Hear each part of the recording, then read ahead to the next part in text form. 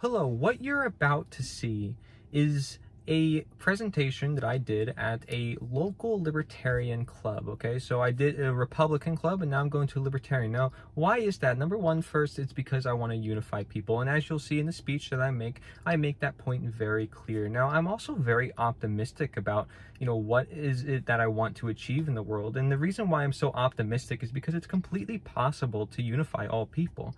The idea that it isn't possible is often the very problem because it actually is. And just talking with one another, just opening that conversation, getting the ideas out there, changing the mind, change the world, it is impactful. And we can start something new, something completely original with these people, with the leaders of these organizations. We can bring them all together as human beings under principles out of the desperateness of our situation to create the change so we can be in control of the system that be because we are meant to be in control of the system that be right? We are human beings here to help one another as human beings. It's a relationship that is simply between you and I as human beings, no matter who you are. It's about all of us, whether you're this or ism or that ism, that's what it's about. So let's get right into the video. So basically, what I'm doing is uh, I got my own thing going here, promoting the natural law. Okay, now what, who is familiar here with that term? Natural law.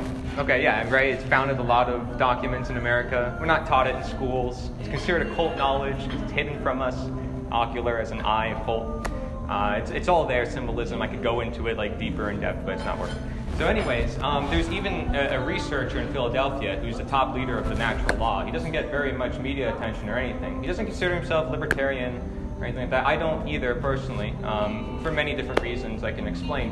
Uh, but I believe that if we wanted to actually change the world, especially being that we have limited time, no offense, but we're going to have like a big financial collapse.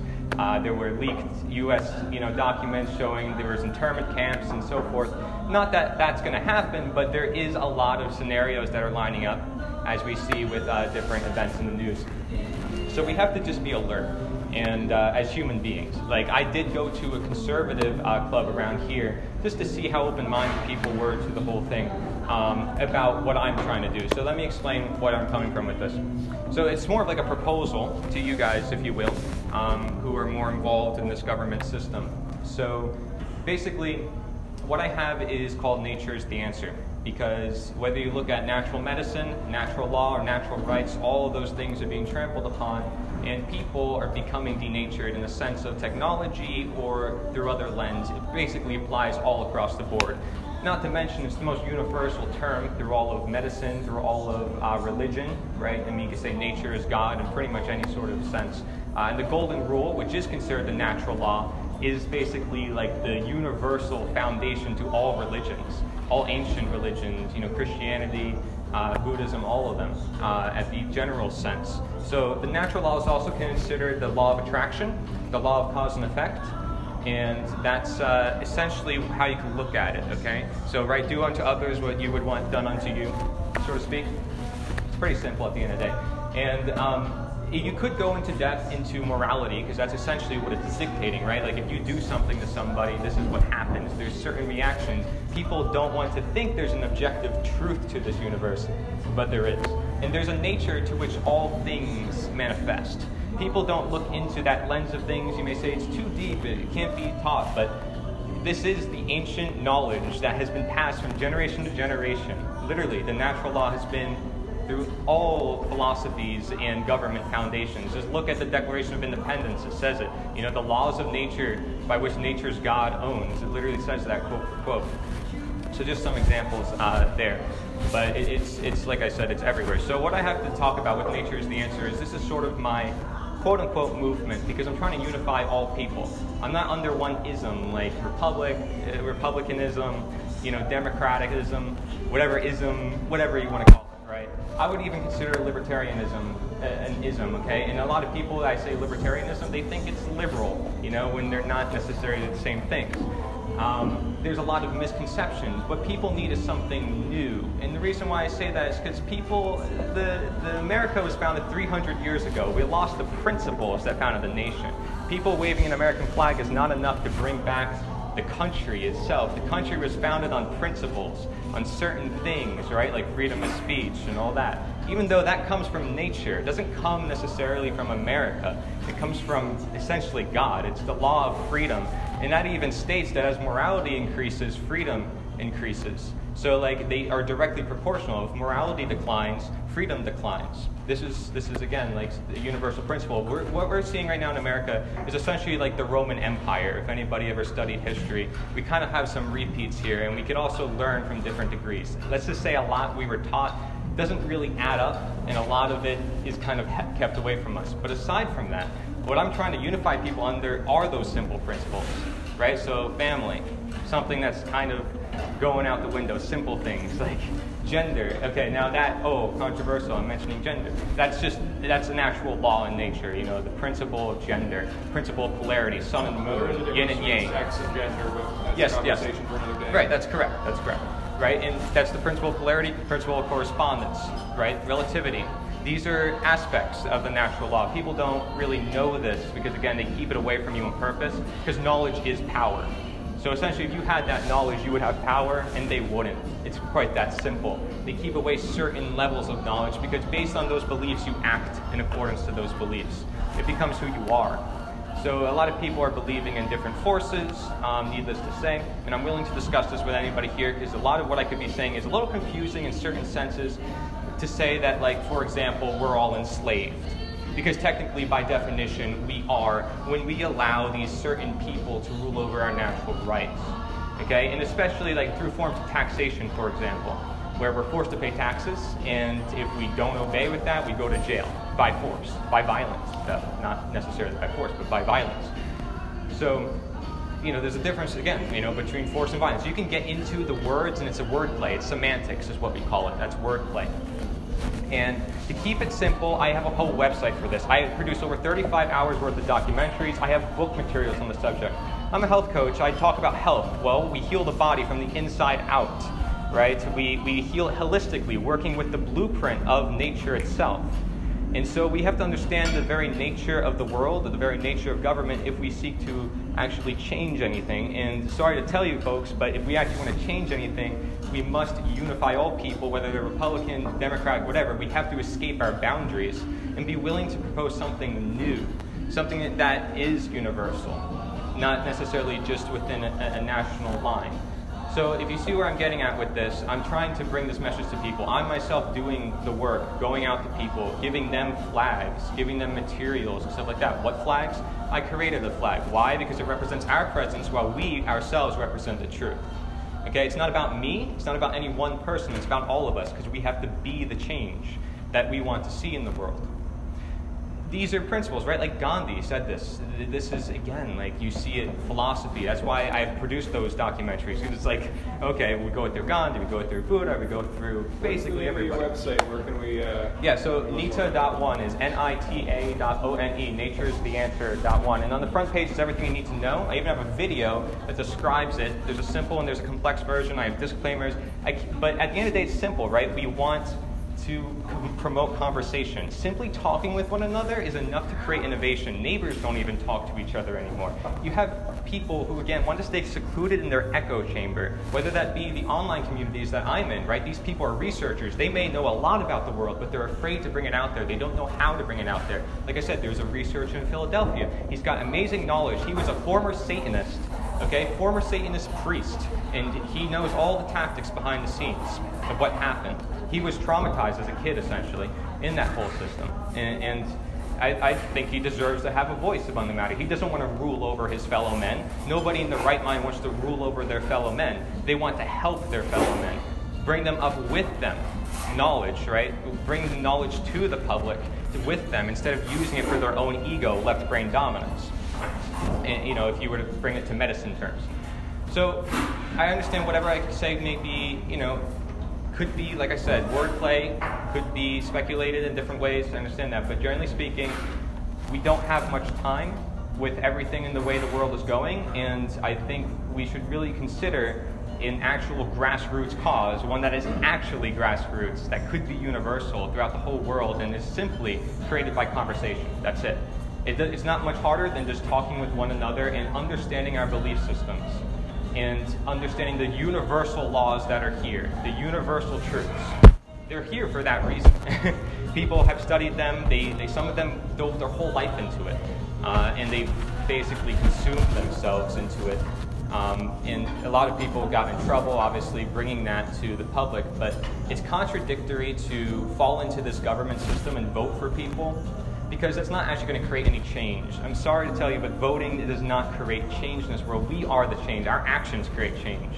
In a manifested level, what we say and what we do is what creates the change in the world. So we have to inspire other people. We have to talk to other people. And it is that simple. It really isn't much harder. Um, if we want to promote the love and the good things in life, well, why we talk about politics? Does anybody actually find politics fun? Does anybody actually find talking about politics like enjoyable? Kind of all I do. Yeah. It, it, But but that's it- why I'm miserable. you're not a human anymore. You're, you it's just you're, it's either you're, you know, a teleprompter. You're reading off some script, something that you've never created. It's like people want to act like they're part of America, but uh, essentially they never consented to it. They were born in this country. They were just born and be like, hey, whoa, you live in America. You're born just all of a sudden here as a citizen, and I'm, allowed to speak my my words because I'm in America. No, it's because I'm a human being and I'm just speaking. Uh, that's the truth. But instead, you know, that we have to put a label on it and say this is what it is. So there's there's simple mindsets. If we change the mind, we change the world. We change ourselves, we change the world. So if we can get the message out there, we actively seek to go to our fellow people and spread a universal cause. That's how it works. Is people understand what statism is, what these ideologies are. Because once those ideologies are out, the governments in place cease to exist. The people that are in it will, will naturally disintegrate. No violence required, nothing like that. You want freedom? That's where we go, at least in the one direction that we know we can go, which is talking with other people, using our human nature before we lose it, essentially. Because we're going to lose it if we if we don't talk to one another and create that conversation, use our nature to promote nature. Because technology is going to overrun us, it's distracting us, it's telling us what to do. You've got people listening to you, propaganda, constantly mass information, people bombarded with messages. They're confused, they don't know where to go. So nature is not just healing in medicine, it's healing in all degrees. And so that's, that's simply it. And I'm willing to hear anybody's thoughts on that. Uh, That was wonderful. Thank you so much for being so passionate about what you had to say. We really appreciate you taking the time to give us all that info. That looks like you turned water into wine. Yeah, that's a great job. Thank you for sharing all that. We really appreciate it. Thank you very much. We really appreciate all that. Sure. Yeah, I mean, I would encourage you also to look into the natural law. If you're somebody who truly wants to understand the universal truths of the world, that will help you get a holistic uh, idea of Absolutely. everything. I'm sure we all will definitely check it out. Absolutely. But we got some bigger things to, to, we're focused on over the next couple of months, right guys? Well, a lot, lot Yeah. I, I, but I also wouldn't mind, um, you know, proposing my ideas with you, and not saying that we should start a whole new party, but that we get people. that's out of the question, but but that we we, talk. right, but that we get everybody together. We look at them as a human being, not as this or that. I mean, that's literally contradictory in its self nature. It's divisive in its nature. You know. I- mean, that's that's essentially what it is. I ask anybody, you know, do they like talk about politics? No. We don't have to talk like these terms, like yay or nay. We don't have to. Just be like, okay, does everybody agree? Sure. Sorry, but that's just the truth. Organizational quality matters just so that everybody knows. Yeah, no, that you they're- could do that, it's They fine. feel heard and that the, the Obviously, process. that's We're cool. all agreed on the process. You It's know. no problem. It's just we need to get in touch with ourselves because we're getting too conflicted in this world. Well, maybe, maybe we can um, help plan some retreats for the committee. Like maybe we'll get a, I'll get a cabin somewhere and like a weekend uh, to root this in. You. That's the thing. Like it, that within itself clears up the mind. Absolutely teaches a lot. I, I get out there and I hike. I, I hike a lot. That's why I'm introducing this to you guys. Because like the person goes on what I say, and you're willing to think about it. You're willing to look deeper into it because you're not already in a two-party system. Right. It's a great system. They want people against each other. So the only way we fix the system is actually bringing them all together, not introducing a third party. Well, I think eventual goal is to have no parties. Yeah. Uh, But that's why it's a natural disintegration, which starts with the belief system, changing the beliefs to just conversation. well, that's, that's the whole idea of voluntarism. It's yeah. libertarian philosophy. must. That's what I would say is You more. gotta, break the paradigm and change people's minds. Uh, yeah, you gotta do it persuasively and, and in a in the measurement that they can consume without being overwhelmed. There you go. See, like that's exactly Yeah. voluntarism. Sure. That's one thing that I, I, I do. I guess if you were to label me, that would be something that would accurately depict. But it's a simple Libertarian, libertarianism is an umbrella philosophy. It includes all those Yeah, right. other ones. You know, I'm often, but I'm a libertarian socialist, very far left. But you know, I have more in common with right libertarians than I do with left libertarians, right? So, it's, uh, we, That's all why believe, I'm- all in freedom, right? Right, that's, that's what I'm saying. It's like there's one direction that is clear to go because there's already one direction that says no to freedom. And, and, and most people are falling to that one system thinking that they aren't because they're still playing in that system. They're not being the change. They're just they're pointing out the fingers at everyone. So I mean, yeah, you, you, you seem like you get it, but what I want to do is bring this full fledged. If I have a material, I have the flag, my whole list. Like I was asking about having flags too, but it's there to it's a neutral. it's doesn't say anything on it. If you look at the image, it's like it, it actually has the N it's incomplete circle because there's always work to be done. It's meant to be generational. I can tell my child. Like, I'm sorry. Before you the law. continue, can I put you on film? It's on. It's for his YouTube channel. He can totally blur your face and like. Yeah, I is it okay? my communities as Okay. Just so there's yeah. well. Um, yeah, I don't usually we don't usually record conversation, but uh, No, we don't. Just whatever you're talking. um, what was I saying? So the, the logo and everything is neutral. Like the, the white flag actually stands for unity and bringing people together. But it's not like major symbolism because that's what these elites are obsessed with. Um, and like I said, incomplete circles because there's always work to be done. It's generational, so I tell my child like this is the law of the land. You treat others with respect. It's a non-aggression principle. It's not much harder. Yeah. Yeah. At the end of the day, it's all about is, well, like you said, Well, say hi to my Jesus said it. Yeah. You can say hi to my, my YouTube channel. They do it. She's up. Yeah. Yeah. That's why I'm a libertarian. That's why I do what I do in my professional life. It's, um, it all comes down to that. You're, you're getting, you're in the right direction. You, you understand, but like also third parties, a little controversial. Like, it's It's like a tool. It's a vehicle. It's a Right. vehicle to advocate for freedom and to change people's minds. And But if like we're you said, it's so fast. Like people will say libertarian is this or that. They jump to the There's a lot of Republicans that are like like-minded. I'd say as libertarians. They just I, right now I'd say in this political landscape they're kind of similar to some degree. And who's hasn't succumbed to the cult. Right. Yeah. exactly. Exactly. It's true. Um, it, that's essentially.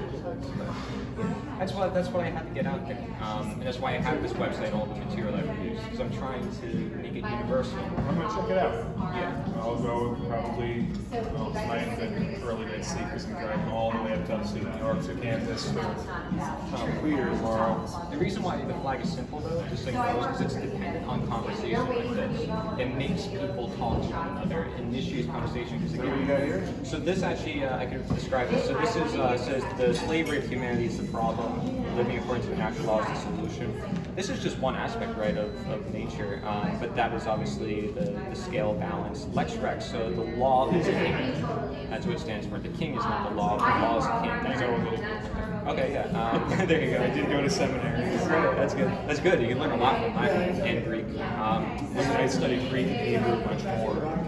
Okay. Yeah, that, that's really interesting. Yeah, because um, this is a website for the guy in Philadelphia. He's just one researcher among many, but he, his stuff is really in depth. Like you're talking word for word detail.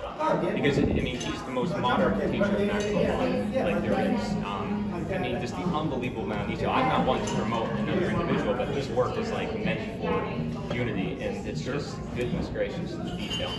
Is there a link to him on your site? Yes, so under the advanced tab is his lectures on natural law.